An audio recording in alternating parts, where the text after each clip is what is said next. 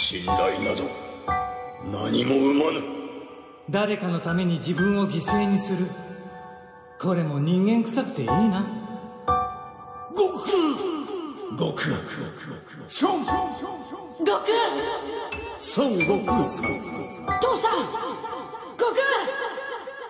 カカロット。あとは頼んだぞ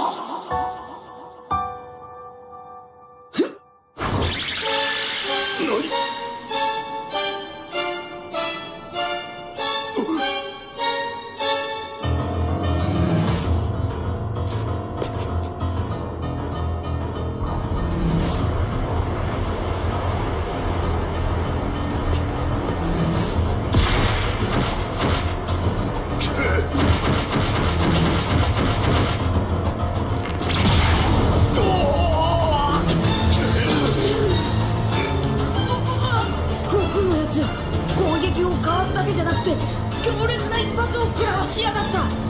まさかあの身のこなしは？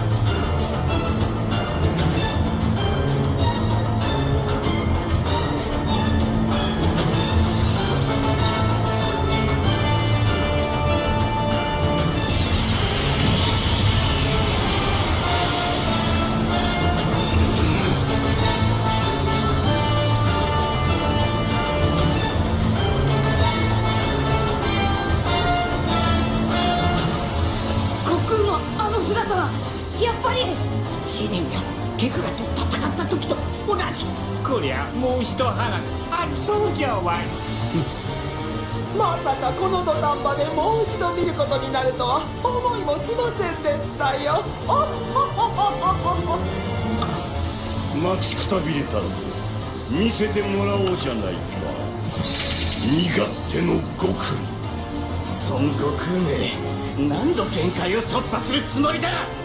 終了間近で発動とは少々面倒なことになりましたね。一時的なものではなかったのか。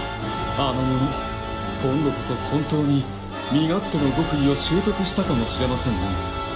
サイヤ人孫悟空恐るべし。身がってきた悟空来た